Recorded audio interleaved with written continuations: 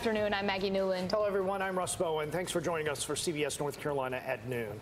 A manager at the subway in Fuquay-Varina stands accused of multiple misdemeanor counts of sexual battery. Authorities say he groped several women. Our Steve Sbraccia joins us live from outside that store. And Steve, what have you learned so far?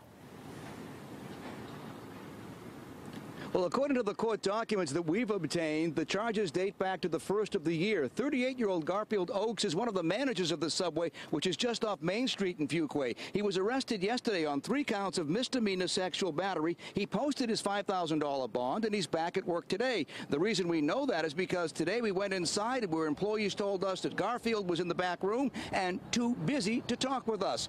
All three charges read the same. Oakes is alleged to have approached his victims from behind, wrapped his arms around them, and then touch them in a sexual manner.